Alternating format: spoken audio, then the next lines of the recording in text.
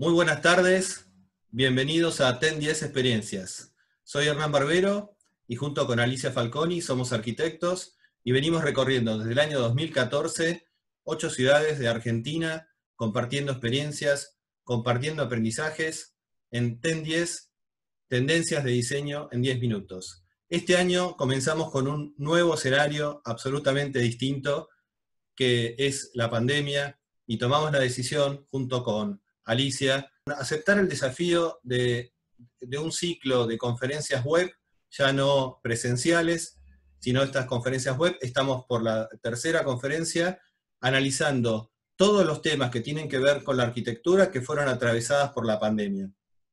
En primer lugar, todos lo sabemos, los espacios para la salud. Hemos tenido una, charla donde las urgencias y el futuro de la salud fue debatida por tres eh, expertos en la, temática y tuvimos este, más de 500 asistentes eh, del país, de todo el país y también de la región, eh, y una gran participación. el segundo tema, todos sabemos que al día siguiente de la pandemia empezamos a trabajar en nuestras casas. Millones y millones de teletrabajadores en el mundo y un espacio de trabajo que está desafiado bajo el eje de la salud, bajo el eje del bienestar, de la seguridad incluso, y también hemos tenido un muy vibrante debate sobre este tema y una gran participación del público que nuevamente agradecemos muchísimo porque nos impulsa para seguir con este tercer tema que tenemos hoy, la educación. Eh, mil más de 1.300 millones de alumnos al día siguiente de la pandemia, más de 60 millones de profesores estuvieron eh, que dar clases en forma eh, digital, de forma virtual, una, experiencia única de la humanidad. Y entonces era como un tema que nos desafiaba enormemente. Así que em, vamos a los agradecimientos. Queremos entonces agradecer muy especialmente a nuestros eh, oradores de hoy, que son expertos en la temática. Ellos son Daniel Silverfaden, es arquitecto, es titular de Silverfaden eh, Estudio de Arquitectura, es decano de la Universidad de Palermo. como, como ven, todos ellos tienen una importante trayectoria también en la educación, ¿no? Mónica Bertolino también es arquitecta, es socia de Bertolino Barrado y es profesora de la Universidad Nacional de Córdoba, en, la Universidad Nacional Litoral y también eh, en la Universidad de Corrientes y cofundadora de la Red Sur. Y el arquitecto Milano Espasandín es eh, titular de, director de Palo Arquitectura, máster en SAIARC, máster en el MDI, actualmente está eh, viviendo en, en Los Ángeles, está estudiando para el año que viene ser profesor en, la universidad de, en una universidad de Los Ángeles, y, pero está estudiando allá, y lo mismo que Mónica está desde Córdoba, y Daniel Silverfan desde Buenos Aires. Vamos a compartir el título de esta charla, que es Aprendizajes a futuro sobre los espacios para la educación. Vamos a aprender cómo vamos a necesitar los espacios para aprender. Vamos a aprender los arquitectos a diseñarlos, los, los expertos, los pedagogos. Y un enorme agradecimiento también a las empresas que nos acompañan en, cadena de valor, están, forman parte de este debate.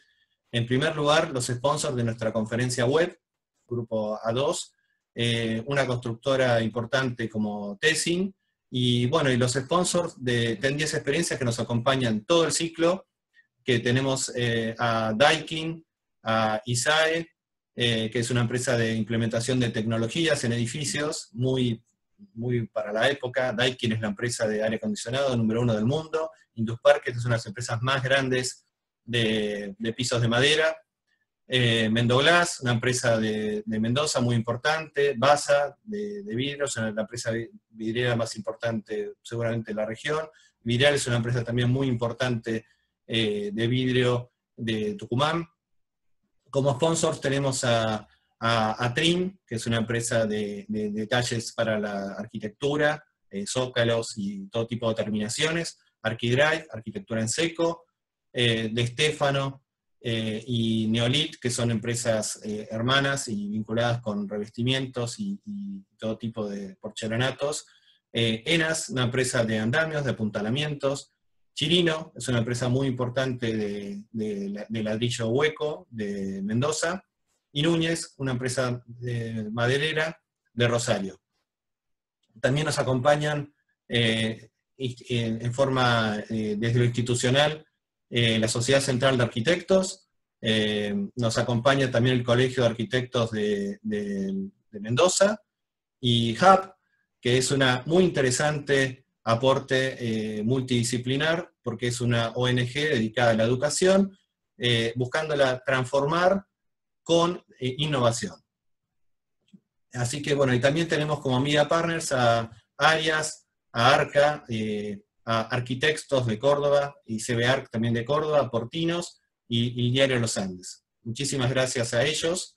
Y bueno, en primer lugar vamos a presentar entonces a nuestro primer orador, que es eh, eh, Daniel Silverfaden. Te invitamos, Daniel, a, que te acerques al, debate, entonces, que, te sumes. Hola Daniel, ¿cómo estás? Bien, aquí estoy, con mucha ansiedad, obviamente, por, todo lo que se está viviendo, y eh, casi empezando la, charla, y seguramente frente a la cantidad de gente que en este momento ya está eh, conectada, imagino que todos como agotados, porque este, este, este modelo eh, cansa y mucho, ¿no? Te, presento rápidamente y ya te dejo con nuestro público. bueno, como les decía, Daniel eh, Silverfaden es arquitecto, es titular de la oficina Silverfaden de arquitectos y realiza todo tipo, tipo de obras en su vasta cantidad de proyectos. La educación es bastante importante. Ha realizado, un, por ejemplo, un plan de, jardines de infante, 134 en la provincia de Buenos Aires, eh, escuelas tempranas se llama, hasta universitarios. Todos los edificios de la Universidad de Palermo eh, los realiza el, estudio de, de Silverfaden. Y bueno, en el ámbito académico, Daniel, eh, también tenés una trayectoria muy importante, fundador y decano de la Universidad de Arquitectura, de de la Facultad de Arquitectura de la Universidad de Palermo, en Buenos Aires. Eh, bueno, y también fuiste presidente de la Sociedad Central de Arquitectos, una gestión que todos recordamos, una gran gestión, dos periodos, eh, también profesor, titular de la Facultad de Arquitectura de La Plata, y bueno, y profesor invitado de distintas facultades de arquitectura a nivel nacional y extranjeras, en países eh, como Estados Unidos, España, Japón, Colombia, Italia, Chile, entre otras. Y bueno, además sos miembro fundador de la Academia de Arquitectura y Urbanismo AU. Bueno, Daniel, te dejamos con, con el público para compartir tus experiencias. Gracias. Bueno, eh, yo quería hacer agradecimientos tanto a vos, Hernán, como a Alicia y al grupo que te secunda. Y un saludo grande a los compañeros de la mesa, Mónica y Emiliano, a quienes conozco y, quiero. Así que bueno, eh, yo lo primero que quiero comentar es con respecto al título de la charla, el título oficial Aprendizajes a futuro sobre los espacios para la educación, o como yo lo subtitulo, Espacios para aprender en tiempo de pandemia. Básicamente porque me parece que la charla trasciende la supuesta especialización en temas de escuelas, sino que tiene que ver con la arquitectura como un espacio eh, para aprender, un espacio pedagógico, que no, no necesariamente tiene que ser la, escuela, sino que tenemos el ejemplo que nos está sucediendo hoy, el hogar también pasó a ser un, ámbito para la educación. Eh, y en ese sentido, eh, quiero decir que la pandemia, y muy especialmente la cuarentena, realizada entre mediados de febrero al día de hoy, en prácticamente todo, todo el mundo, ha provocado y provocará una serie de cambios en los usos costumbres habituales. Entre tantas, la educación como actividad es una de las más relevantes por el tipo y volumen de la población afectada y por su impacto en el núcleo familiar y la sociedad. Dada el estado de ebullición, hoy, por ejemplo, se integraron en el mundo 400 millones de estudiantes al sistema escolar con enormes restricciones. Eh, este estado de ebullición realmente impide tener esta perspectiva que los arquitectos y la arquitectura eh, tienen necesariamente, y es como un tiempo de reflexión. Entonces, en medio de ebullición, este debate es una oportunidad para iniciar de algún modo algo muy necesario, que es la participación de los arquitectos en el ámbito de opinión y de mm, consejos o de experiencias que podamos transmitir a las autoridades. Entonces, eh, vamos a la primera imagen.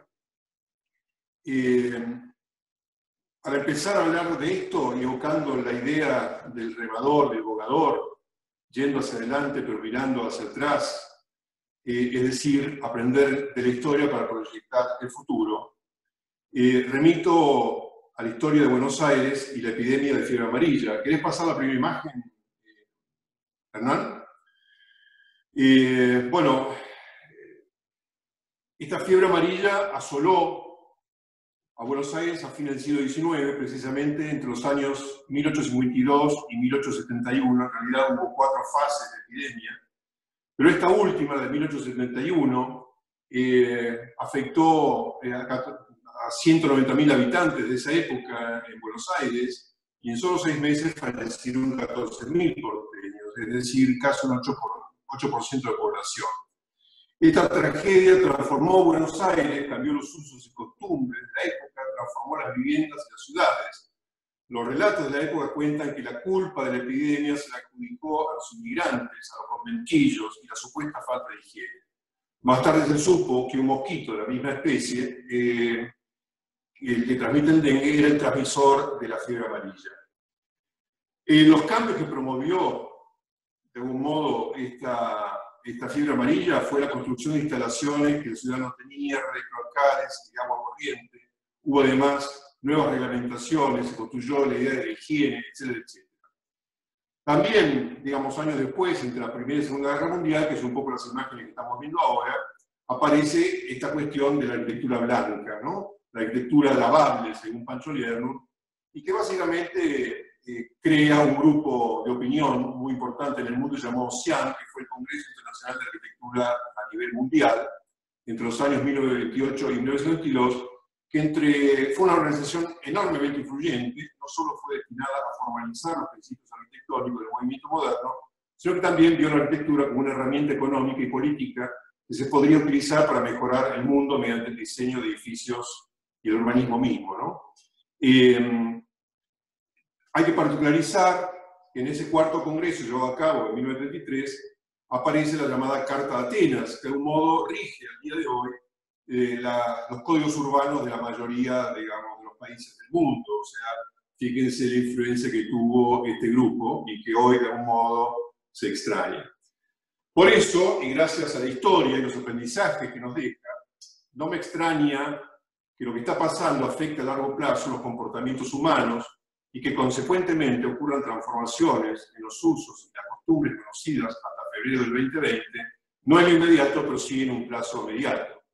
Quizá haya reflexiones y genere procesos imaginativos para suplir lo habitual, proyectos que no requieran de la aglomeración o de los habituales usos intensivos, especialmente de aquellos edificios de uso público masivo, y que quizá debamos discutir nuevamente lo de la ciudad saludable o la ciudad verde o la ciudad densa o un modelo de ciudad dispersa. Es pensable que algo así pueda ocurrir. Ni hablar del trabajo en casa, que seguramente recibirá un impulso muy fuerte, lo mismo que en la educación. Hay procesos en los que lo presencial es insustituible, pero hay otros en los que se puede recurrir a la educación online o remota. Lo hemos estado experimentando en la Universidad de Palermo o mismo en La Plata, y es posible. Dicho esto, en ese estado de plena ebullición de pandemia y cuarentena, como decía, Resulta muy difícil imaginar soluciones inmediatas al educativo, porque los arquitectos necesitamos habitualmente un tiempo que se lleva muy mal con la urgencia. ¿Por qué la educación y el espacio educativo necesitan de ese tiempo de reflexión? Porque es una actividad trascendente para el ser humano y requiere un campo de pensamiento holístico, es decir, un sistema de situaciones que es distinto que la simple suma de esas partes, y donde vinculamos a la escuela, o mejor, al ámbito educativo, con el una tarea conjunta donde el foco pedagógico tiene su centro en el alumno y un entorno tanto familiar y educativo necesariamente equilibrado entre los diferentes actores. Por eso necesitamos debatir esta situación y ver las consecuencias de estos u otros modelos educativos. Encontrar las preguntas implicaría profundizar esta experiencia. En el caso de educación presencial como modelo, ha ido variando especialmente en los últimos 50 años, pero básicamente requiere de la presencia de la presencia. Y es un modelo conocido de pedagogía que ha brindado por más de 200 años un modelo aceptado y que tiene su fortaleza en la socialización de los individuos y de una comunidad que aprende de los otros y no solo de su maestro. Un encuentro de jóvenes que nos vienen a contar lo que pasará y nosotros, los maestros en este caso, que transmitimos lo que pasó. Es un encuentro virtuoso, que de eso se trata, entre el futuro con el pasado. Es posible que lo presencial de aquí en adelante conlleve una readecuación del ámbito educativo, aspectos sanitarios, acondicionamientos ambientales, mayor distanciamiento entre personas, ajuste con las normas de convivencia y ajuste de las normativas vigentes. ¿La enseñanza virtual es posible? Sí. La buena enseñanza virtual es posible, pero depende de nuevos factores por un antiguo y estructural problema de países con desigualdades enormes. Uno, el entorno familiar adecuado. Dos, conectividad y equipos aptos para una buena experiencia. Y tres, condiciones espaciales que permitan un aislamiento adecuado, iluminación y, acondicionamiento ambiental. Eh, creo que en este sentido eh, ambos sistemas son posibles y eh, lo que se está hablando y mucho es que la, la nueva normalidad la futura normalidad transite por estos caminos que se llaman eh, mezcla o se llaman blended, y que básicamente reducir la capacidad de uso eh, y de ocupación en manos de eh, clases progresivas y donde lo presencial y lo virtual sea esto posible. Cada uno de estos sistemas tiene ventajas y algunas desventajas.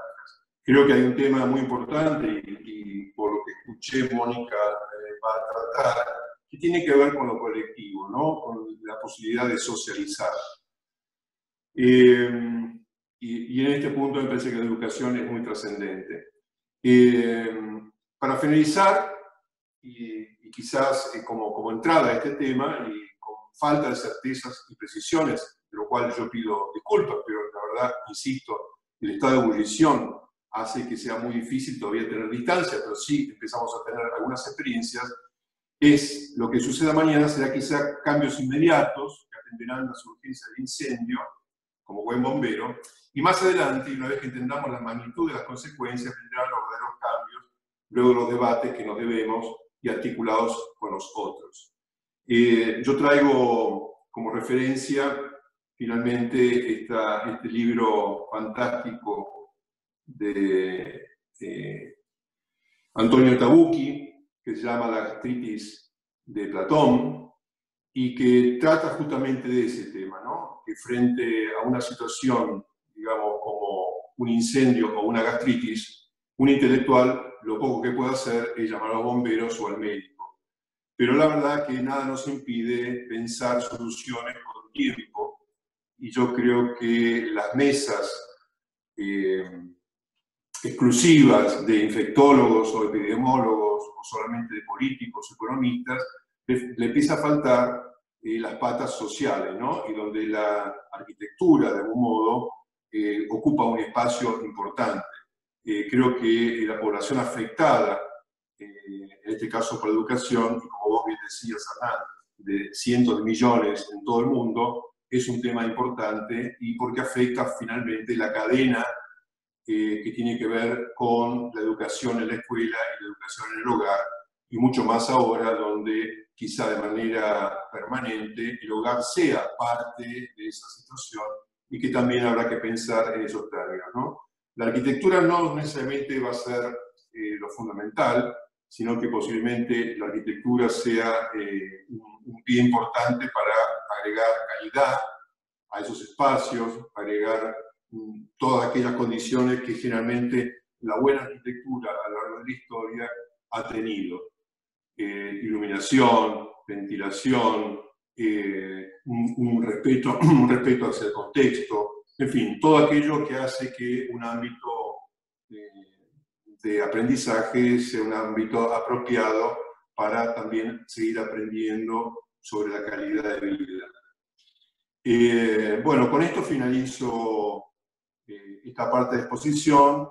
Las imágenes que ustedes han estado viendo son parte, digamos, del trabajo, del estudio y en algunos casos la actividad docente, porque yo quería mostrar de algún modo estos espacios de enseñanza de arquitectura, quizá una de las disciplinas más complejas eh, para mm, un aprendizaje a la distancia. Así que bueno, cumplido mi tiempo, agradezco muchísimo y luego nos volvemos a encontrar. Gracias. Muchas gracias, Daniel. Y eh, entre, entre, todas las cosas que estuviste eh, comentando sobre el final, hablas de la importancia de, debatir no solamente las cuestiones médicas o epidemiológicas, sino también eh, lo social, ¿no? Y creo que ese debate multidisciplinar eh, es muy importante que se genere. Hoy de alguna manera lo estamos, lo estamos generando desde la arquitectura y poder ver todos los temas sociales. Así que muchísimas gracias y vamos a hacer luego un debate entre los tres oradores, así que este, los invitamos y lo están haciendo, veo, eh, que en el chat hagan sus preguntas como para que podamos sumarlas y que podamos eh, pensar entre todos y con ustedes también en este gran espacio de pensamiento eh, sobre el futuro de los espacios para la educación. Ahora vamos a, invitar a la arquitecta Mónica Bertolino que te sumes a esta reflexión. Hola Mónica. Hola Hernán. ¿Cómo estás? Desde Córdoba. Hola Hernán. y queremos agradecer especialmente que hay, una gran cantidad de, colegas de Córdoba que nos están siguiendo. Muchísimas, gracias. Eh, y eh, nuestro coequiper en Córdoba, eh, entendí, llevamos, este creo que iba a ser el séptimo año, esperemos que podamos hacerlo presencial, con el arquitecto Roger Berta, que nos ayuda muchísimo desde allá, la convocatoria. Así que, bueno, y nos estamos este, expectantes de, tu pensamiento, eh, además con una actividad académica muy destacada. Eh, te voy a, presentar un poco a, la gente. Eh, bueno, sos arquitecta por la Facultad de Arquitectura y Urbanismo de la Universidad Nacional de Córdoba, con un posgrado en la Universidad Católica de Córdoba. Socia del estudio Bertolino Barrado, junto con Carlos Barrado, y bueno, trabajan en distintos, distintas escalas de proyectos, desde lo diseño arquitectónico hasta el paisajismo y, lo urbano, ¿no?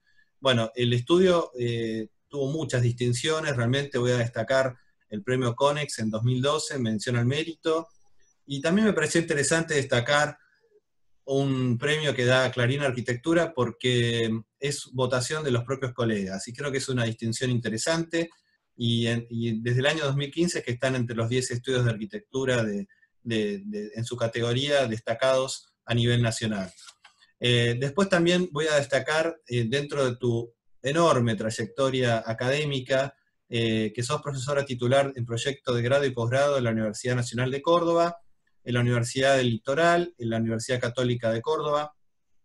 Y bueno, has estado, incluso el año pasado, creo que me contabas que seis meses como visiting professor en la Escuela de Arquitectura Spitzer de, Nueva York. Eh, bueno, y cofundadora de Red Sur, es un proyecto muy interesante que funciona desde el año 2010. Es una red latinoamericana de intercambio interuniversitario y profesional sobre problemáticas emergentes del contexto latinoamericano, conformado por más de 15 universidades. Tienen un lindo tema para debatir con Red Sur ahora. todo lo que la, pandemia nos está transformando la, arquitectura. Y bueno, y gestión y coordinación de distintos programas de intercambio académicos y workshops. Todavía no sabemos cómo eh, reemplazar el aplauso, pero te damos un enorme aplauso a todos y, te queremos escuchar. Muchas gracias, muchas gracias a ustedes, muchas gracias Hernán y eh, Alicia y todo el equipo y a los coequippers en, esta, en nuestras nuevas plataformas que tenemos para vincularnos. Eh, agradecida por la invitación y de formar parte de este equipo, porque los colegas invitados, particularmente Daniela, quien conozco, eh, y un saludo grande, y a eh, Emiliano, que lo acabo de conocer y me parece también sumamente interesante su, posición y lo que va a mostrar. Eh, yo he subtitulado esto como jaque a los espacios colectivos de interacción para el aprendizaje. Lo, voy a focalizar, digamos, como, como arquitecta y como docente, como vos ya me has presentado, pero creo que estas dos este, facetas, estas dos esferas, digamos, se, retroalimentan. Eh, la ciudad como, cultivo humano en el territorio, como espacio social por excelencia y producto cultural, es el espacio eh, de la educación colectiva y es el que, el que, es el que verdaderamente está en jaque. O sea, no por, por nada, este, gran parte del debate pasa hoy por la ciudad vacía y la extrañeza que esto produce, ¿no? Es decir, el mundo colectivo se disuelve y se refugia en lo privado, como bien dijo Daniel, y todo, todo lo cotidiano está alterado. No tenemos aún perspectiva histórica, decir, eh, como para plantearnos eh, más allá del problema de la educación que, es grave. Eh, lo que verdaderamente está en jaque es la experiencia colectiva del aprendizaje, es decir, aprender del otro, los espacios para la educación no formales, digamos, y que esto, por supuesto, que sean, forma parte incluso de las tipologías para la educación, ¿no? Eh, como señala Saramago, la educación no es, no es este, alfabetización. Esto fue algo que lo mencionó en la, conferencia en Rosario, en este, el Congreso de la Lengua. Eh, durante el concurso para la Facultad de Arquitectura eh, de Córdoba, esto es viejo ya, pero desarrollamos justamente una serie de, espacios que, para responder a, lo pedagógico, ¿no? para optimizar esto. Eh, espacios formales y, no e informales, digamos, de, encuentro. El taller, por supuesto, es medular para nosotros dentro de la enseñanza de la arquitectura, y en este sentido, eh, lo que propusimos justamente para, o sea, propusimos, bueno, yo propuse como, como titular de la cátedra, eh, siempre me interesó poder discutir lo que ya se venía dando ¿no? en el ámbito de la enseñanza. Creía que había que ampliar el espacio este, académico, ampliar el debate, eh, sumar este, diversidad. Y en ese sentido construimos este, con Margarita Tlin, Rubén Cabrera y Carlos Barrado una red que se fue ampliando este, a 15, 16 universidades, primero latinoamericanas, y que son la plataforma, digamos, de, este espacio académico eh, territorial, en el cual hemos llevado adelante una, cantidad de experiencias vivenciales que hasta ese momento en la universidad pública particularmente era dificultoso hacer, es decir, estar produciendo en tiempo real, en contacto con otros compañeros y, y profesionales de otros países, con las problemáticas emergentes emergentes de, de, eh, de, Latinoamérica primordialmente. ¿no? Así es que llevamos adelante, una, como les mencionaba, una cantidad de trabajos que eh, se nutrían de esa vivencia, este, de esa experiencia eh, relacional y que hoy puede mantenerse a través de las redes sin la experiencia vivencial. Lo que sí, por supuesto, está este, completamente interrupto, digamos, es en este caso los, talleres de obra y esta experiencia que llevamos adelante desde la Universidad Católica, que es el trabajo de proyección social, durante varios, ya muchos años, trabajando con, en, forma participativa. Por otra parte, ya eh, volviendo a la mirada sobre, sobre, sobre la cultura, cada, cada mm, concepción del mundo se ha materializado en, espacios, digamos, eh, consecuente a, esa, a, esa, a, esa, condición de mundo, a esa visión del mundo. Con lo cual la mirada me parece que es este, central eh, para nosotros para poder este, replantearnos la realidad. Y traigo aquí el mundo que vivimos global, este, con extrañeza, digamos, esta instalación increíble del ojo del mundo entre dos medianeras, que este, nos, nos está advirtiendo también de que no solamente mira, vemos, sino que también somos permanentemente observados. Y eh, volviendo al tema del espacio público y que está en jaque, traigo parte de un ensayo que ya es viejo, porque en 2001, pero donde me replanteaba el, problema del espacio público en relación a la a la eh, inseguridad. Y hoy encuentro que esto tiene vigencia porque el espacio público eh, vuelve a ser el espacio colectivo, un espacio de miedo, o sea, un miedo al otro que también vamos a tener que repensar. Eh, y se ha generado un sistema de profilaxis antiurbana. Yo le había llamado así, como que el espacio público era agresivo y, amenazante y el espacio privado un espacio de, este, protección.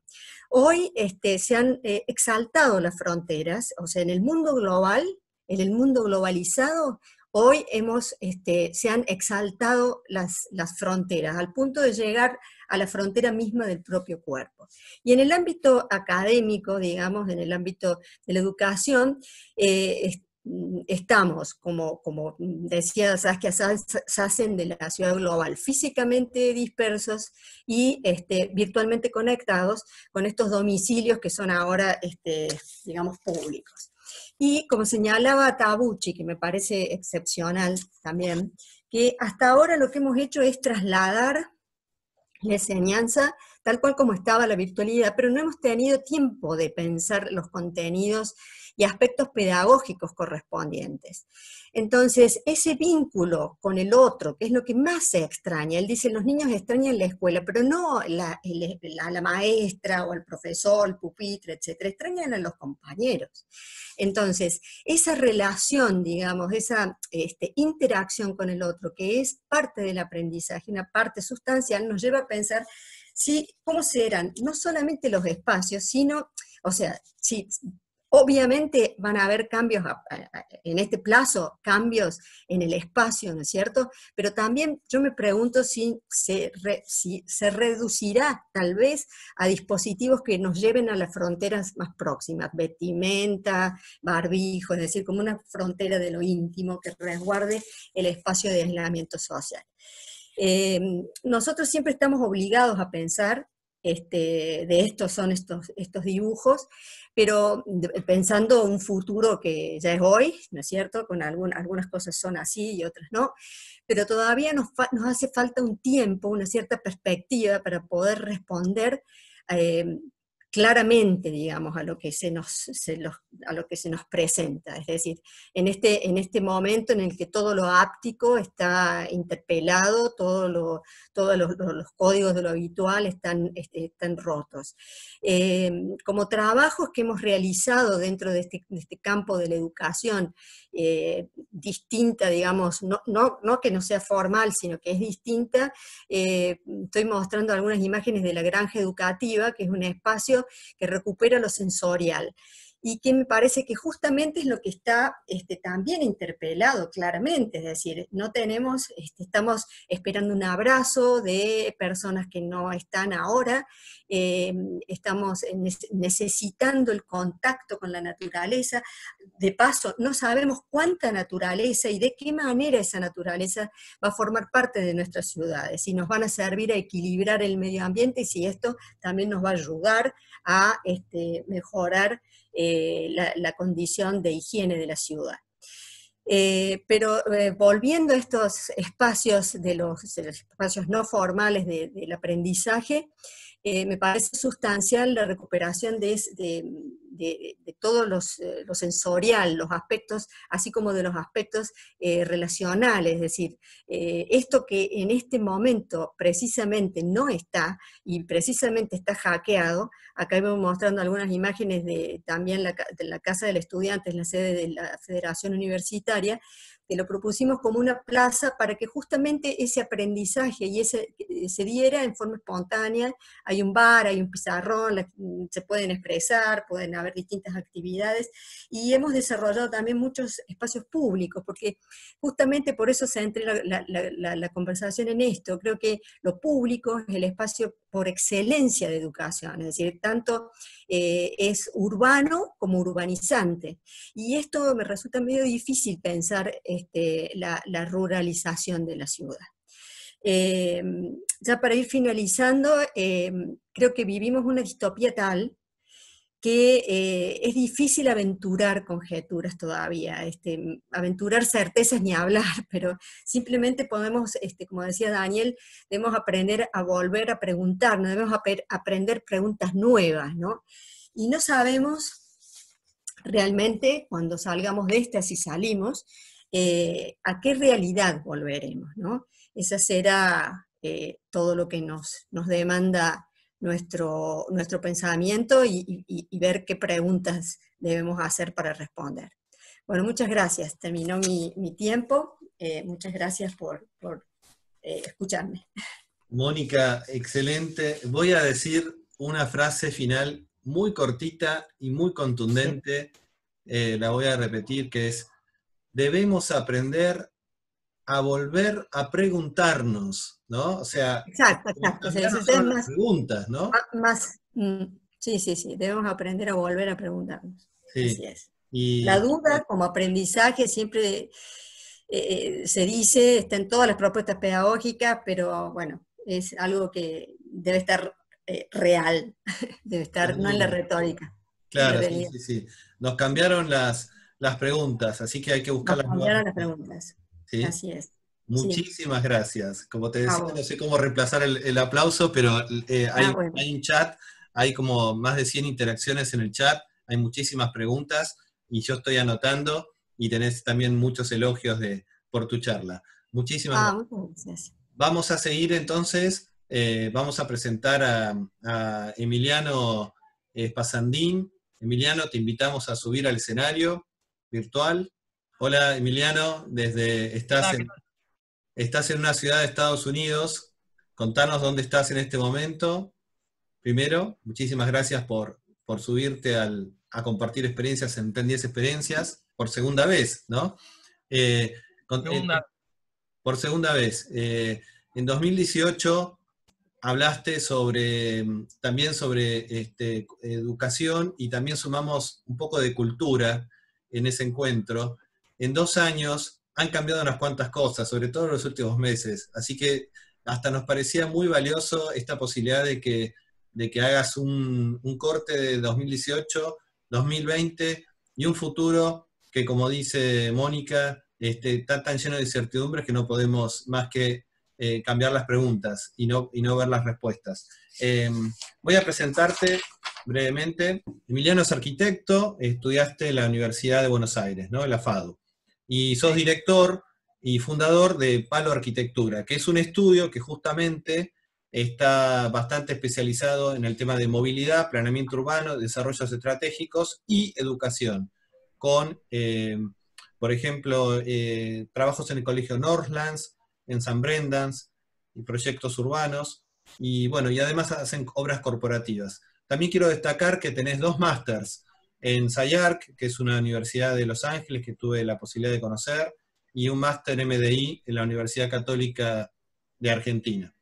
Bueno, em, también bueno, eh, participaste en, diversas conferencias, eh, nombro algunas ciudades como Estocolmo, Nueva York, Bogotá y varias en Argentina. Em, y bueno, también quiero destacar que, que sos, este, al igual que en mi caso, periodista o por lo menos participaste como columnista en radio y conductor de El Arqui, muchos te conocen, por un programa de televisión en Telefe, muy, muy bueno. Eh, y bueno, y también lo último que cuento para, para ya este, em, que puedas estar con tu público es que estás haciendo en este momento estudiando un máster Edge eh, de teoría del diseño y pedagogía en Los Ángeles y el año que viene vas a ser profesor del mismo. Así que te felicito por tu trayectoria y, eh, ya, y ya te dejo con tu público. Bueno, gracias. Hernán, gracias por la presentación. Eh, gracias a todos los que están ahí del otro lado. Son momentos al, equipo, a Mónica, excelente, me encantó la, presentación y lo que charlabas, a, a Daniel también, que lo estimo también. En principio, quiero, quiero dar un, poquito de contexto a, lo que va a ser la presentación. Me interesa, siempre me interesó la arquitectura, pero me interesó mucho más la relación de la arquitectura con las personas y con los objetos que, la arquitectura en sí mismo eh, como, profesión. La, charla que quiero hoy presentarles tiene que ver con, con la educación. Esta, esta es la primera diapositiva que había presentado hace dos años atrás, cuando hicimos una charla TEN 10 ahí en el Museo eh, de Arte Moderno en San Telmo había salido hacía muy poquito la tapa de la revista New Yorker, donde un poco de un escenario distópico, donde aparecían robots que interactuaban entre ellos, y por otro lado estábamos las personas un poco mirando de costado. Esta situación se da en el, en el contexto o en el escenario de la cuarta revolución industrial. La primera fue, obviamente, eh, a fin del siglo XVIII, después viene eh, la automatización y la producción en masa, y hoy un poco esa relación de, industrial se da con la relación que tienen las máquinas entre sí mismas, ¿no? Esta relación de, poder tener como una, como una interacción y una capacidad de tomar algunas decisiones que, no tienen que ver con la presencia de, de las personas, ¿no? Y, un poco esa relación, ¿no? Que muchas veces ahora estamos teniendo con, nuestros, con nuestros dispositivos y con los, los dispositivos entre ellos mismos. Eh, me interesa empezar por este lado porque hay algo que me obsesiona a mí desde hace mucho tiempo, que es el, el espacio público. Y dentro del espacio público podemos llamarlo la calle, podemos llamarlo el espacio donde se desarrolla la vida cotidiana y la vida de las personas, y ese es el lugar que hoy está en debate y está puesto en discusión. Me, interesa también hacer como una especie de breve introducción. Todavía eh, este escenario era antes de la, pandemia, este, este, escenario donde se empezaban a ver que los sistemas autónomos eh, empezaban a convivir con nosotros y, empezábamos a tener como estas relaciones eh, dispares o, mejor dicho, no lineales entre, entre las máquinas y las personas. Esta sensación que, por ahí en algún punto se estaba dando eh, casi como una transición natural entre, entre la, aceptación nuestra de que ya nosotros no tenemos entidades por sí solas, sino que empezamos a tener como otro tipo de, comunicación, eh, impacta, por supuesto, en el espacio público.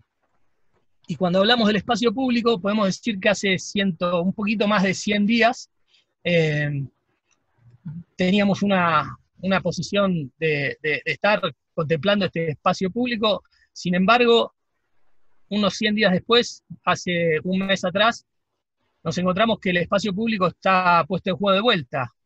y, nos podemos imaginar un espacio público sin autos, sin personas, nos podemos imaginar un, espacio público donde nosotros tengamos que relacionarnos con otro tipo de, paradigma o, de, relación. Este es un trabajo que hicimos con una colega arquitecta de la Universidad de Rosario, Nacional de Rosario, y lo presentamos en, el Museo de Arquitectura y Diseño de Los Ángeles. Y es justamente las cámaras de seguridad que mostraron todas las capitales de las, de las, de las ciudades más importantes del mundo vacías después de eh, la, aparición de la pandemia, ¿no? Y cómo esa relación entre eh, vivir en los balcones y tener esta comunicación entre las personas entre los balcones empezaron a, hacer este, como nuestra forma de, tomar ese espacio público. Después, por el otro lado, tenemos lugares a donde específicamente son zonas de exclusión para las personas, como los depósitos de Amazon, en donde no hay personas que, estén este, que, se les permita eh, entrar a ciertos sectores. Entonces las máquinas tienen como una autonomía que hasta ahora no vimos, ¿no? Y entonces, por el otro lado, la pregunta que, me hacía es, ¿y si, si, este lugar, que era el, este lugar de, exclusión para las personas, ahora es el espacio público? Porque el espacio público es lo que, es lo que en algún punto se nos empezó a restringir como posibilidad de, interacción en, estos últimos acontecimientos.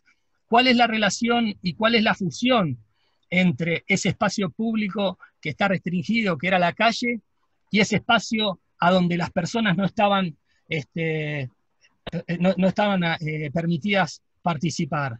Entonces esta, esta fusión entre el espacio público y estas zonas de, exclusión humana eh, empiezan a fusionarse. Esto lo hizo una, eh, inteligencia artificial, hizo esta especie de fusión entre estos dos lugares, eh, usando una red neuronal de, de, de de transferencia. Y acá un poco se puede ver eso, ¿no? Se puede ver cuál es esa relación. Y por el otro lado, y un poco llegando, volviendo, digamos, al hecho físico, ¿no? La importancia del edificio, la importancia del edificio en la arquitectura, la importancia del edificio en la educación.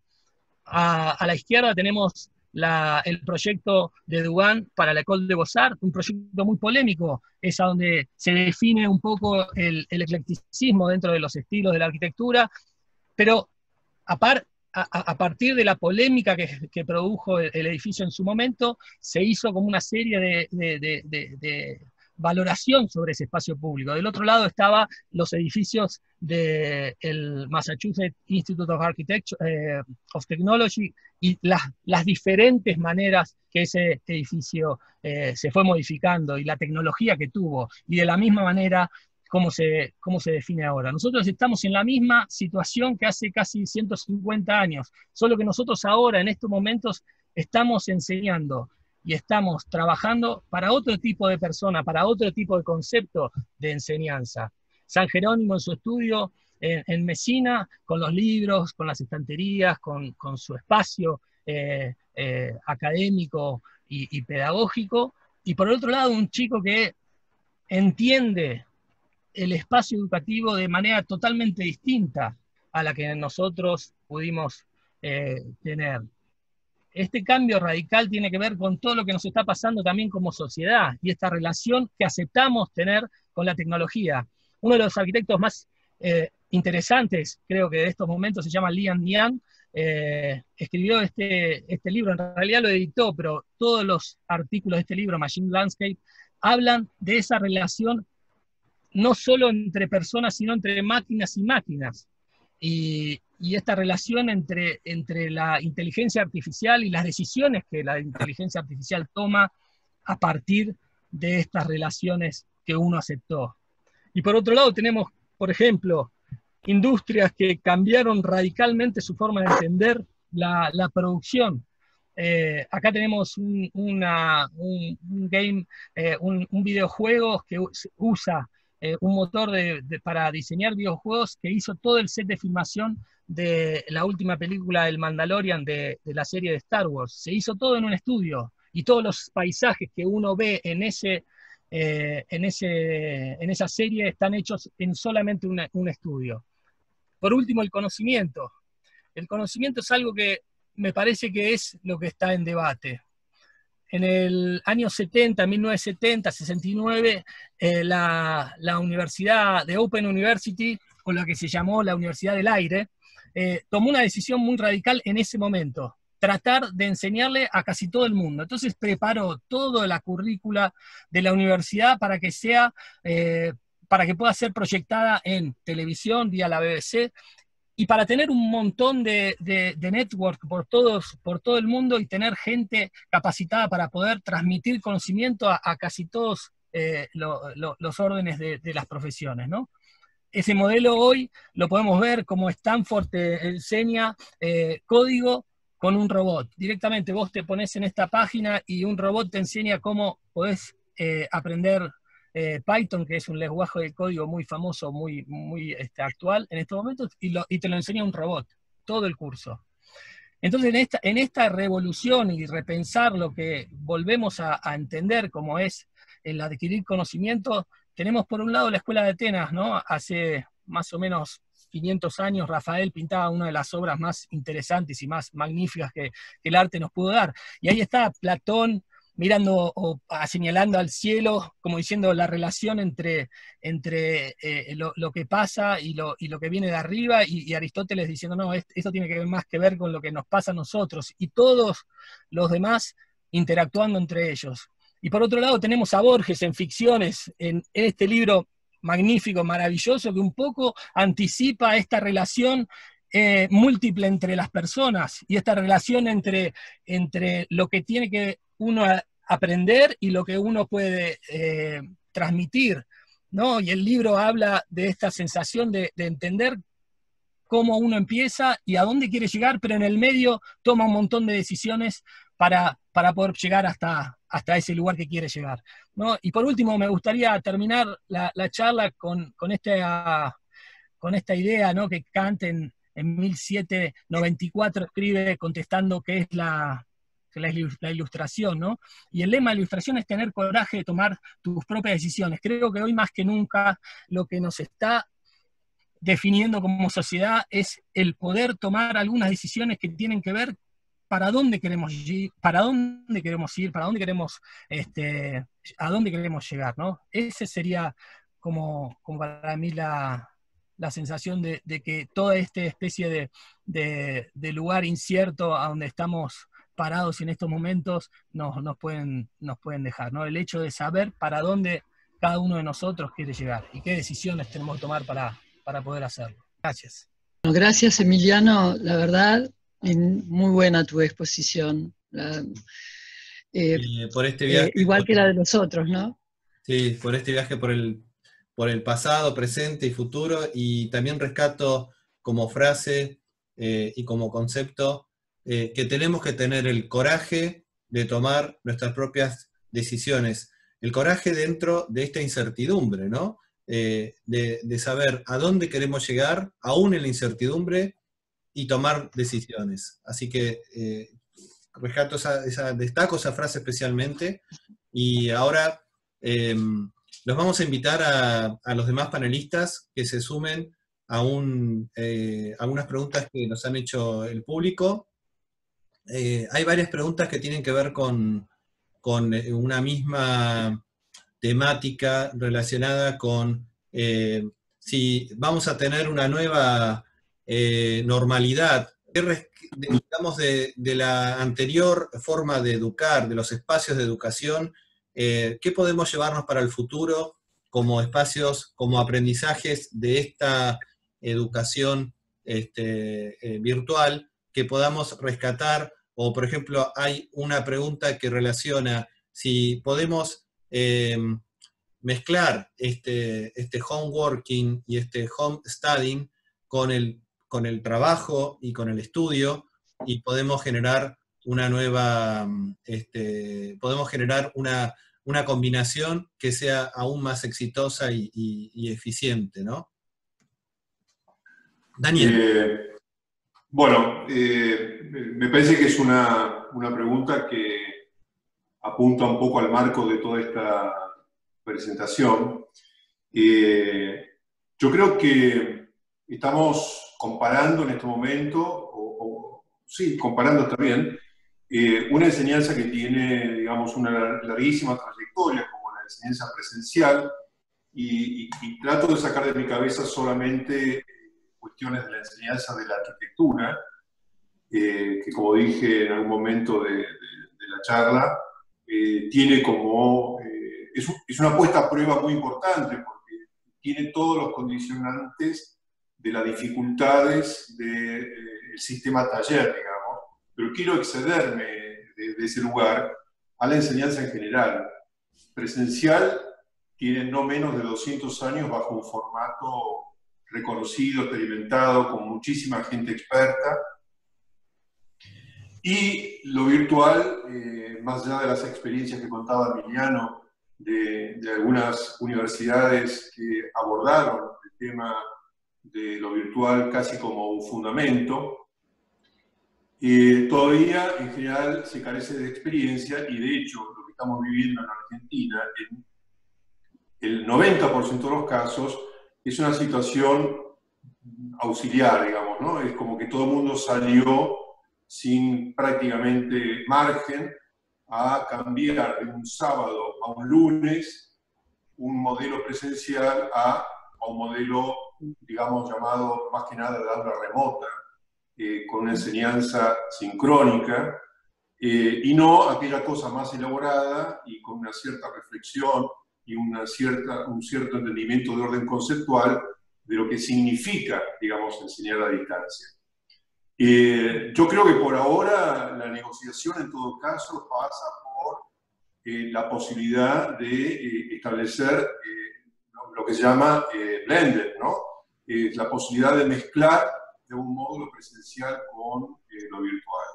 Nosotros contaba en ambas experiencias, tanto en la Universidad de Palermo como en la Universidad de La Plata, y yo sé que muchas otras universidades también están pasando por esta situación, eh, han adoptado diferentes, eh, diferentes plataformas, algunas parecidas a estas, otras un poco más sofisticadas, pero que eh, básicamente importa que todavía no estamos logrando reemplazar aquella cuestión que lo presencial tiene y que Mónica recuperaba o comentaba en su, en su presentación.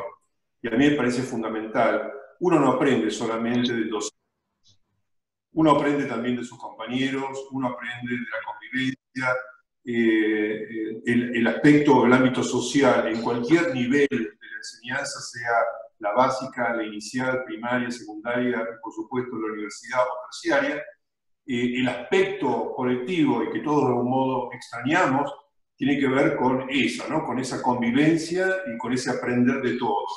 Me parece que esta frase, aprender, aprender y aprender, digamos, eh, de todos, eh, nos pone a todos en, una situación de alumnos. Eh, y yo creo que esa jerarquía, de algún modo, lo virtual tiene que mm, avanzar, todos adquirir experiencias y encontrar los nuevos modos, de, de, alguna manera, los nuevos modos de aprender, los nuevos modos de convivencia frente a esto que por ahora solamente es experiencia temprana y ensayo, ¿no? Muy bien. Eh, Mónica, Emiliano, ¿quieren completar? Mónica. Sí, eh, comparto lo que, lo que dice muy, muy este, pertinente, lo que dice Daniel. Eh, hemos salido así, este, sin herramientas y, trayendo de nuevo lo que mencionaba de que, que decía Tonucci, ¿no es cierto? Que la escuela ya venía con problemas de la educación en general, por una sobrecarga, es lo que señalaba, ya ahí me estoy yendo un poquito de, lo que estaba diciendo Daniel, pero este, por una sobrecarga de eh, demanda ¿no? a, los, a los alumnos, a los, en este caso a los niños, y bueno, eh, lo hemos visto también en nuestros hijos, y es real, o sea, hay una, hubo una sobrecarga de deberes, así, ¿no? Entonces él dice, no desaprovechemos este tiempo precioso, ¿no? dándole tantos deberes. Y, lo dice en general. Ahora, toma también esto, esto como, se pregunta si esto será también una oportunidad para repensar eh, esa condición, ¿no? Porque él, dice, eh, leer un libro no es un deber, no, es una, no debiera de ser un deber, debiera ser un, regalo, ¿no? Es decir, que tengas el tiempo para leer. Y este debate se planteó este, el año pasado también en, la, en la Expo en la Expo FAUD, digamos, donde todos eh, los talleres expusieron, eh, referido al uso del tiempo, ¿no? O sea, la cantidad de trabajo que tienen que hacer y el tiempo que hay para este, nutrirse, digamos, de, eh, de la vida este, digamos, sin, la tarea, ¿no? O sea, nadie dice que, no, que seamos vagos, menos, nosotros, digamos, pero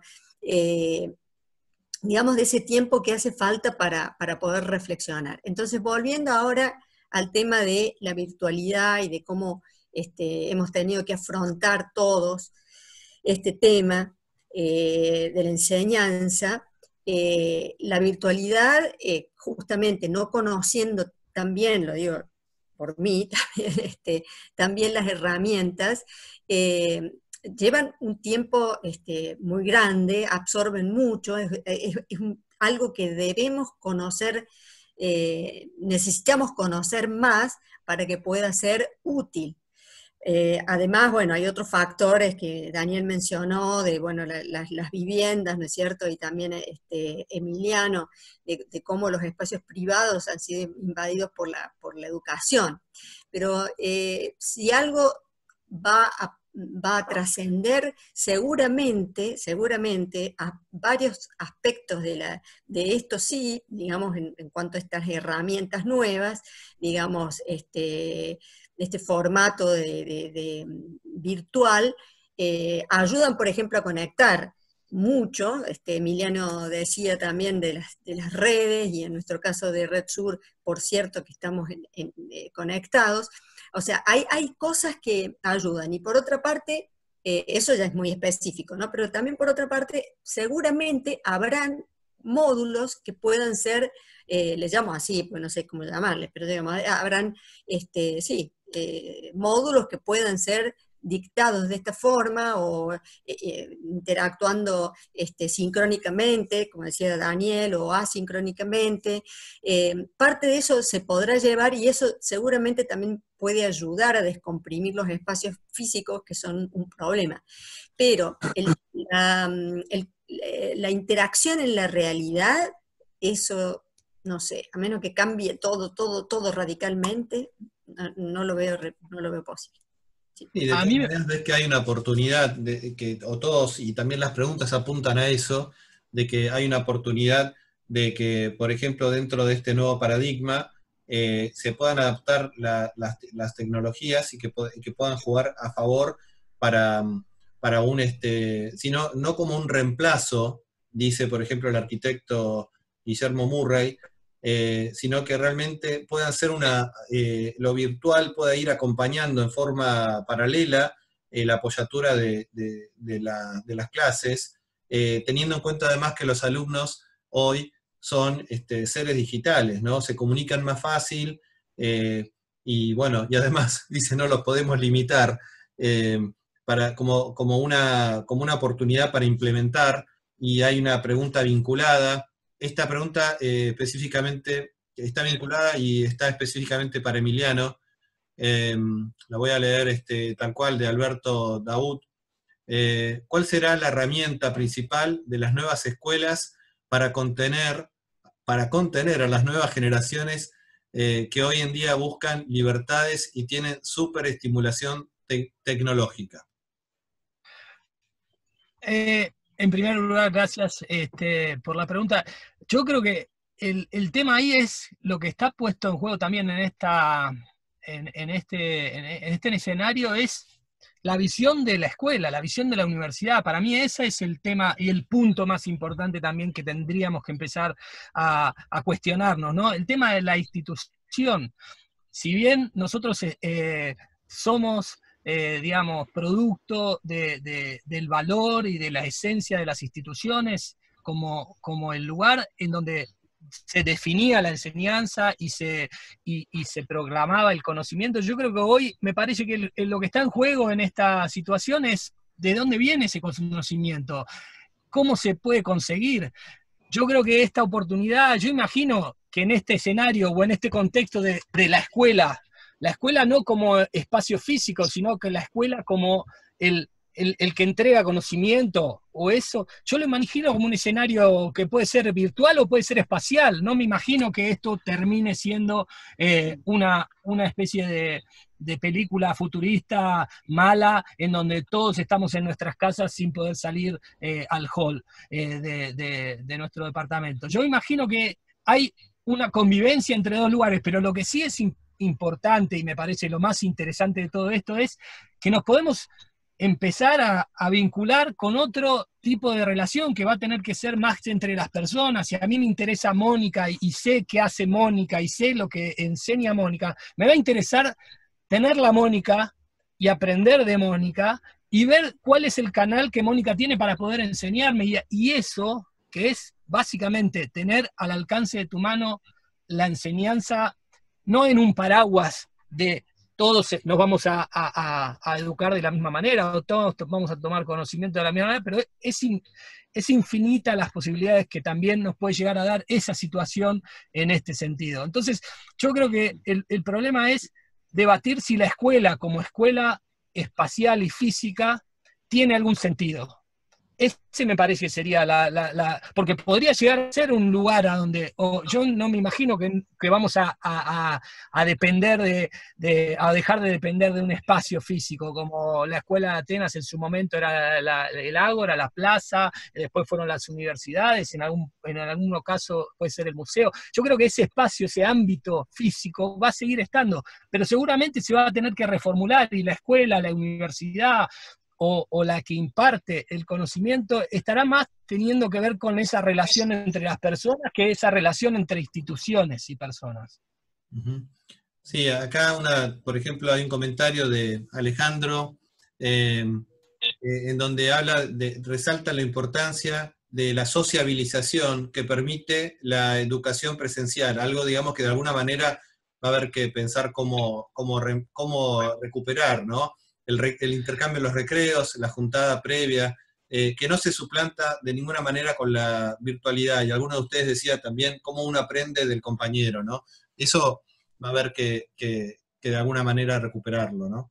A mí me parece que hay una cosa que sí tenemos que tener en cuenta, que esta situación de aislamiento y esta situación de distanciamiento social que estamos viviendo impacta siempre a los que son más débiles en la sociedad. Y eso, de alguna manera, también lo tenemos que tener en cuenta a la hora de elaborar las políticas educacionales, porque los que menos por ahí recursos tienen son los que más están impactados también con esta situación de aislamiento social. No es lo mismo para nosotros o para en particular uno que por ahí tiene una comunicación buena eh, y, tiene una especie de, eh, desarrollo o, paisaje o, en algún punto ámbito eh, social adecuado que, estar en esta situación de, tener que aprender o de tener que tomar conocimiento sin las condiciones adecuadas. Eso sí me parece que eh, es imposible dejar de mencionarlo, porque no es que todo está buenísimo, ay, qué bueno que estamos todos en la casa aprendiendo a hacer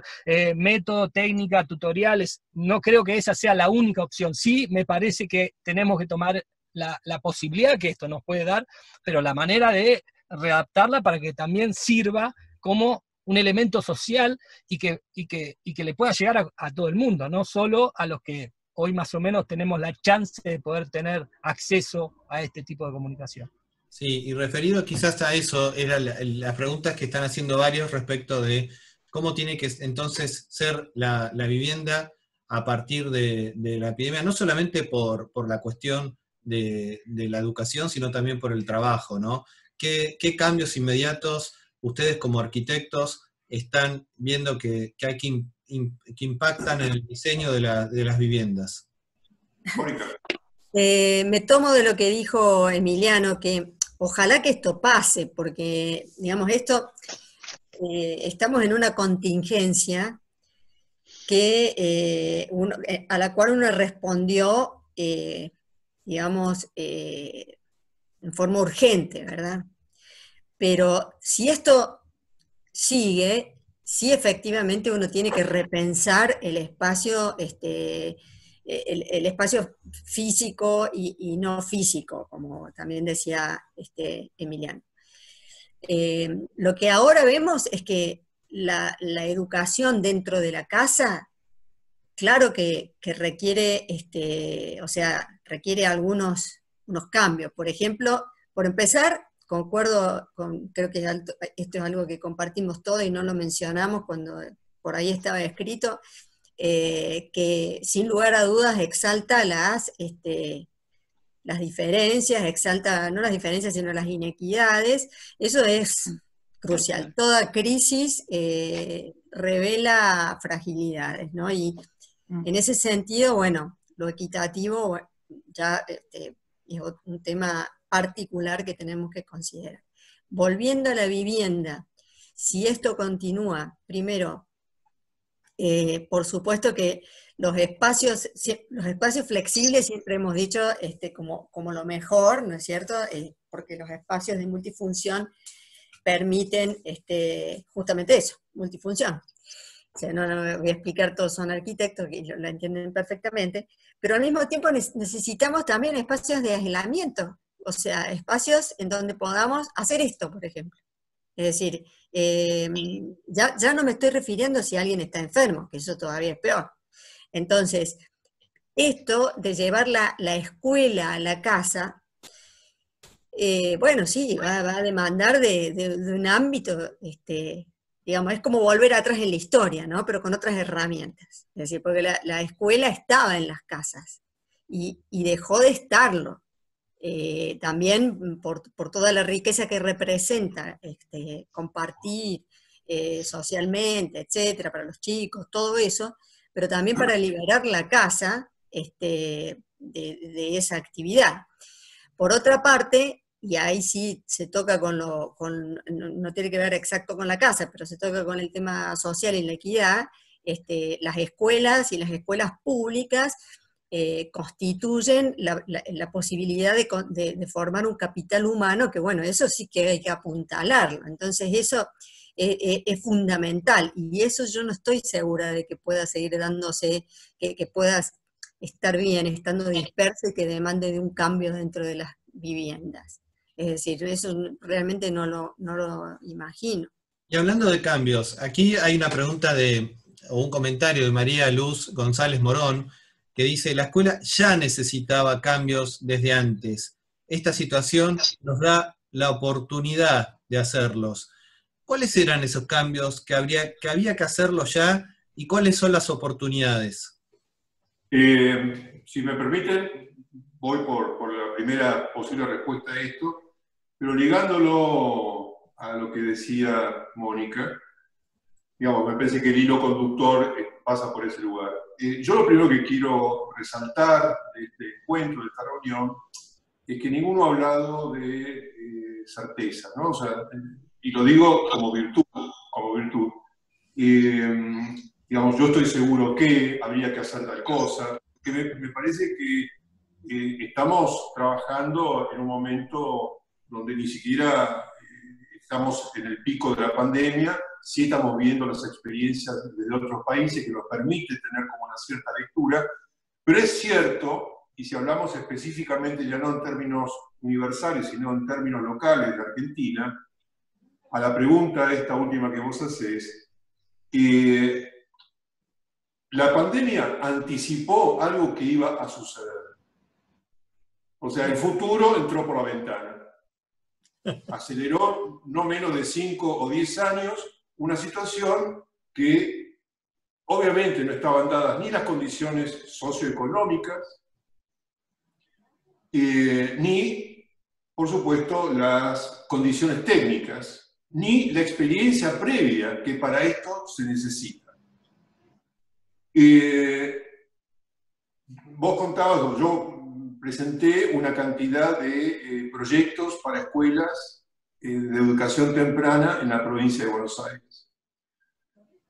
Si yo pudiese en este momento decir, de un modo, el diagnóstico con lo que nosotros nos encontramos, la cantidad de faltantes, pero básicos para la educación, que podía ser el promedio de la escuela pública en la Argentina, y algunas de ellas incluso privadas, pero me quiero ocupar básicamente de esto, hay tal cantidad de faltantes básicos y situaciones tan irregulares y de tanta inseguridad que estar hablando en este momento de esto es haber saltado a una situación del futuro donde no se solucionaron los problemas del presente.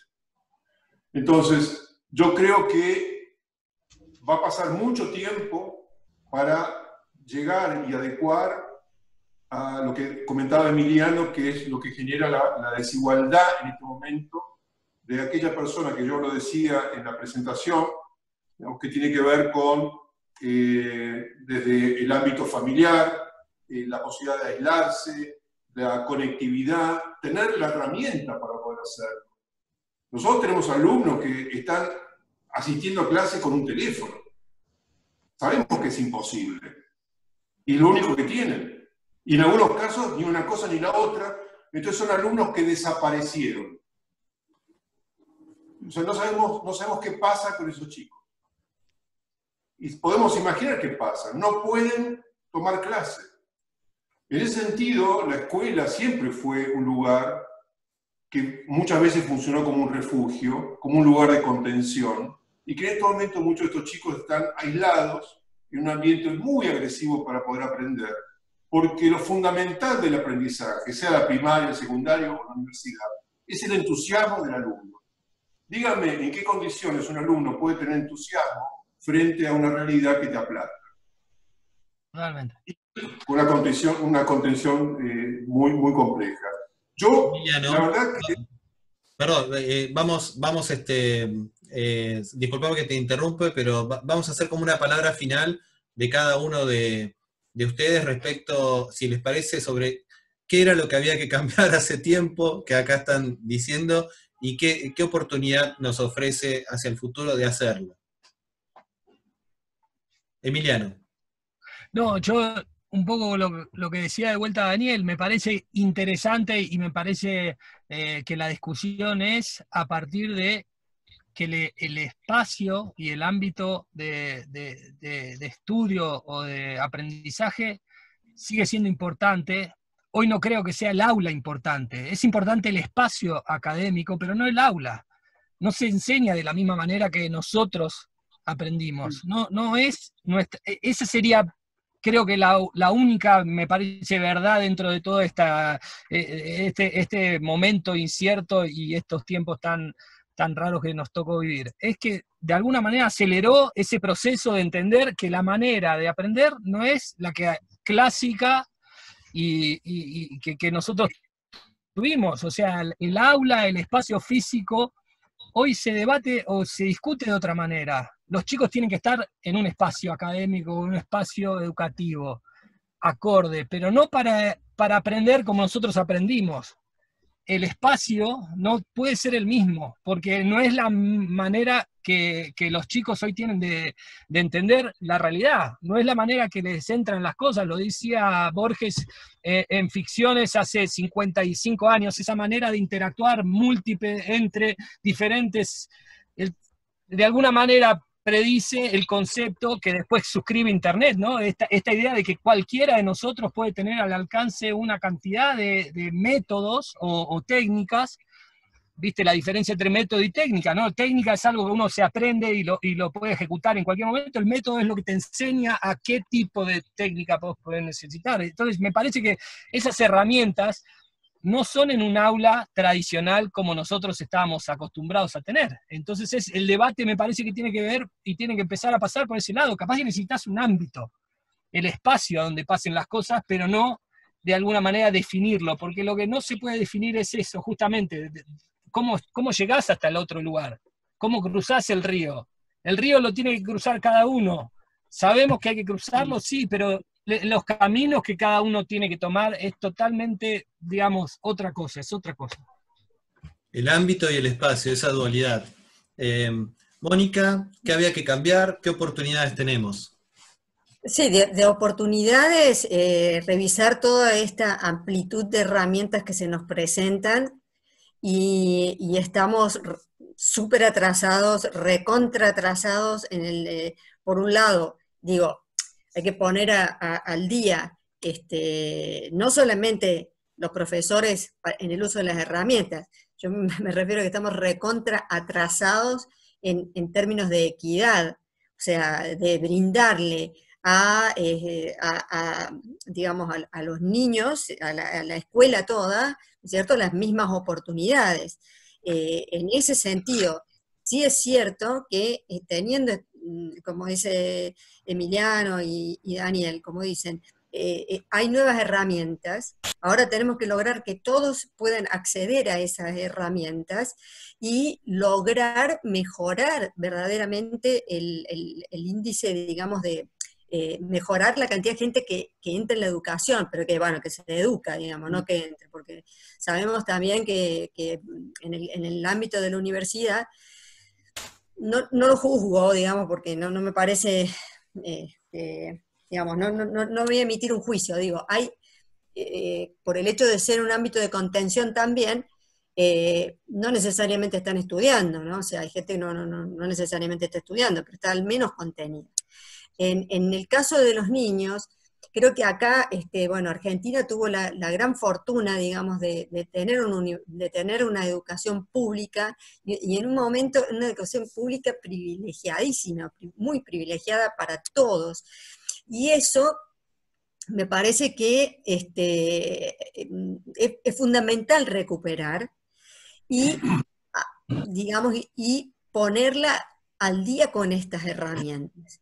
Lo digo, por ejemplo, veo, este, fíjense lo que ha sucedido en Chile el año pasado, eh, hace varios años, digamos, que, están reclamando eh, por la educación, ¿cierto? En Chile. Y de repente los atraviesa la pandemia, o sea, tuvieron por un lado una revolución social por el tema de la educación y de ahí ahora, el eh, además, el tema de la pandemia. Y en el caso de ese reclamo, ese reclamo es el acceso a la educación, ¿no es cierto? Entonces, eh, en ese punto hay, eh, hay, que mejorar, digamos, eso es uno de los aspectos que, de, políticas, digamos, educativas que son necesarios, es necesario abordar, es imperativo. La educación ha perdido ya, este, digamos, su, eh, ha, dejado de ser, digamos, la, herramienta de, eh, reubicación social, como, como fue, digamos, este, en la época de nuestros padres, de nuestros abuelos. Eh, es decir, ha dejado de ser eso, porque, digamos, los paradigmas han cambiado. Pero la, educación eh, sigue siendo la única la única garantía de este, construir un capital humano que es lo que realmente eh, es patrimonio de un pueblo, ¿no? Es decir, el, digamos, el patrimonio este, más e, educado. Y ahí, bueno, poner, poner ahora, digamos, a, tono estas herramientas que efectivamente existen, eh, Claro, estamos desfasados con esas herramientas, porque de repente estamos enseñando, como dice Hernán, ¿no es cierto? Eh, eh, perdón, Emiliano, eh, estabas comentando, decir, de repente vos querés que te atiendan y están todos con el celular, por decirte una, esto que pasaba hace tiempo, ya, ya uno lo tiene, digamos, incorporado como que es algo al contrario, que vos en el mismo momento puedes buscar la cosa. Entonces, sin lugar a dudas, lo que uno, lo que uno espera eh, tiene que ser distinto, tiene que cambiar, los medios tienen que cambiar esos, la, manera de acceder al, conocimiento, la metodología, no sé, hay gente que está ocupada en eso, ¿no es cierto? Ahora, los espacios, la forma que va a ser, las tipologías, todo eso, eh, hay gente, justamente aquí mismo veía, está Teresa este, que, es especialista en el tema también, y, bueno, Daniel, que ha trabajado tanto en escuelas, ¿no es cierto?, conoce perfectamente todas este, eh, las, tipologías que se han ido cambiando a lo largo del tiempo conforme a los sistemas pedagógicos. Y nosotros todavía no sabemos cuál es el sistema pedagógico que va en este momento. Con lo cual habría que revisar este, eso, eh, eh, fundamentalmente, ¿no es cierto? Y parte coincido con lo que dice Emiliano, es decir, eh, el ámbito es lo que necesitamos, ¿no? El ámbito. Igual creo que ese ámbito eh, debe haber un ámbito físico, o sea, el ámbito es físico. No sé si tiene dos aulas, un aula, eh, no sé, pero es un ámbito físico, porque además esa, esa condición lo convierte en referente social, o sea, en referente, no sé, un referente que trasciende el, hecho de ser una institución de educación. Entonces, eso a mí me parece que es necesario para la, para las sociedades, para la sociedad en general. Para, cerrar solo, además de enorme agradecimiento y, del público que están elogiando muchísimo a, todo lo que dicen, eh, eh, hay una dualidad de palabras que se han repetido de esa forma, recién dijiste, esto del espacio y el ámbito, ¿no? El ámbito eh, y, como, como, realmente la calidad del ámbito relacionada con el espacio físico. Y eh, Daniel hablabas de calidad de vida y calidad de enseñanza. Eh, se habló mucho de la equidad, ¿no? Y diría la E, la I equidad, ¿no? O sea, que es la equidad en el acceso a la herramienta, ¿no? se habló mucho de sociabilizar, de aprender a aprender y de la incertidumbre frente a las decisiones que de todas maneras eh, tenemos que tener el coraje de tomar, ¿no? Y se habló este, mucho de la oportunidad y por último, eh, como mensaje también eh, que se viene como repitiendo en, estos, en estas conferencias web, quiero rescatar un término que es la resiliencia, ¿no? Que se habla como, mucha gente se lo confunde con resistencia, es justamente lo contrario, es la transformación del cambio. El cambio nos atraviesa, nos, lo tenemos que, nos desafía y tenemos que transformarlo, ¿no? Somos protagonistas de esa, de esa transformación. Y mm, vamos a incorporar a, la arquitecta Alicia Falconi, este, tu, tu, comentario respecto de este, de este panel. Y también todo el tiempo he estado con las ganas de, intervenir porque es muy rico. Bueno, además yo también he sido docente eh, durante muchos años, muchos, demasiados, 27, y la sensación de que los, los, espacios que, no, que, albergaban la enseñanza eh, tenían que modificarse. Eh, es extraño porque hoy pensaba, tampoco nunca me, me detuve demasiado, porque bueno, ante la necesidad de actuar, uno actuaba. Eh, pero sí es cierto que también estos ámbitos donde uno se encuentra con el alumno te permiten hasta detectar este, este tema de la inequidad, más allá de que uno lo conoce, sabemos que sucede, sabe que está, es otra de las cosas que nos atraviesa todo el tiempo y sin embargo se ignora, porque la pandemia no la podemos ignorar, pero sí podemos ignorar la inequidad. Eh, pero ahí justamente en el ámbito, y un poco también como dice eh, Emiliano, ¿no? A través de la tecnología, o como dijo Daniel, hay alumnos que desaparecen, porque al no poder tener acceso a la, tecnología, eh, y por supuesto, no los tenemos como alumnos. Entonces, tenemos mucho todavía por, por transitar, por debatir. este, no sé, creo que fue uno de los, de los temas que, ha sido postergado, mm, por algo también el tema de la, educación, este, ha sido bastante postergado, eh, no por nosotros los interesados, sino por las políticas de gobierno, como decía este, eh, Mónica. Así que yo creo que este debate sigue, tiene que seguir, y sobre todo porque además tampoco, tampoco nos, nos gusta pensar y necesitamos, por otro lado, tener certezas, pero sí es cierto que hace mucho que venimos hablando de la, de la incertidumbre o de las incertezas. No, eh, se terminaron un poco en este mundo en el que vivimos las certezas totales, ¿no? Nos gusta pensarlas, pero no es así. Y, también hay que aprender a vivir con eso. Y también, de alguna forma, pienso que ese es el motor para, el cambio también, ¿no? Además del deseo y del entusiasmo, este, me parece que la incertidumbre o la duda también son motores para el cambio. El elogio de la duda, ¿no? Alicia, ¿y cómo eh, siguen nuestro ciclo que sigue este, con, las temáticas que la pandemia está afectando a la arquitectura? Bueno, ahí tenemos, este, yo veía también las, las, demandas que, aparecían en los chats. Decía, bueno, a ver si nosotros podemos dar alguna certeza sobre lo que vamos a hablar en las próximas. Eh, una de las cosas que apareció fue el tema de la vivienda. Eh, y justamente frente a todos estos cambios, eh, y, pero ese no va a ser el próximo tema, sino el siguiente. Eh, nosotros vamos a continuar y los invitamos a que estén con nosotros el 28 de mayo con, bueno, otro tema que tiene que ver con, estos escenarios y que es eh, cuáles eh, los escenarios futuros justamente para la arquitectura y la construcción.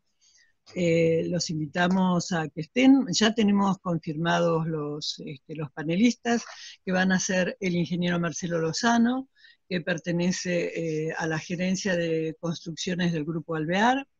la arquitecta eh, Paula, este, perdón, la arquitecta eh, Valeria del Puerto, que es, además de presidente de CEPAU, socia del, estudio del Puerto Sardín, que han hecho mucha producción. Y también de, vamos a tener como invitado al arquitecto Gerardo Ascuy, del estudio Ascuy, que también ha encarado desarrollos propios. Y bueno, seguimos 15 días después, el 11 de junio, con el tema exactamente de vivienda, la transformación de la vivienda. Y todavía no están confirmados los panelistas, así que nos los damos hoy. Y el siguiente, tenemos ya tres preparados, y seguramente va a haber muchos más dentro de poquito, va a ser la conferencia del la conferencia siempre por este medio, ¿no? Del 25 de junio, que va a ser también la transformación digital de la arquitectura. También ahí los panelistas eh, se los vamos a contar un poquito más adelante. Así que bueno, los esperamos a todos y también quería agradecerle muchísimo a nuestros oradores. Realmente eh, me pareció también un panel brillante que ya sabíamos que iba a ser bueno todo esto, pero bueno, al público que se ha sumado con, sus preguntas y a las empresas que nos han acompañado. Muy bien, así que bueno, paso la palabra. Con, este enorme agradecimiento y que ya Alicia lo, ha destacado, eh, en lo personal disfruté muchísimo eh, estas, estas conferencias, eh, ha sido como, como conversar en, el, en un lugar de, aprendizaje interesante. Se generó el ámbito esta noche de aprendizaje. Tenemos muchísimos elogios, excelentes, excelentes. La palabra excelente se repite todo el tiempo, interesante, mm. excelente, excelente. Muy bueno, muchas gracias. Y bueno, eh, los, este, los invitamos a seguir pensando, en, a construir, los arquitectos, construir espacios para pensar cómo transformar eh, nuestros ámbitos eh, eh, desde, desde, una nueva, este, desde un nuevo código virtual y que puedan ser este, resilientes, que podamos transformarlos en algo mejor, más allá de que estamos extrañando todos los espacios presenciales y el encuentro y, y lo extrañamos, pero aprendamos que todo esto, cuando salgamos de este encierro, sirva para un enorme aprendizaje. Así que muchísimas, muchísimas gracias y hasta la próxima. Muchísimas gracias a todo el público. Tenemos gente de, muchos países, eh, así que muchísimas gracias y que nos sigan acompañando en este espacio de pensamiento. Buenas noches. Gracias.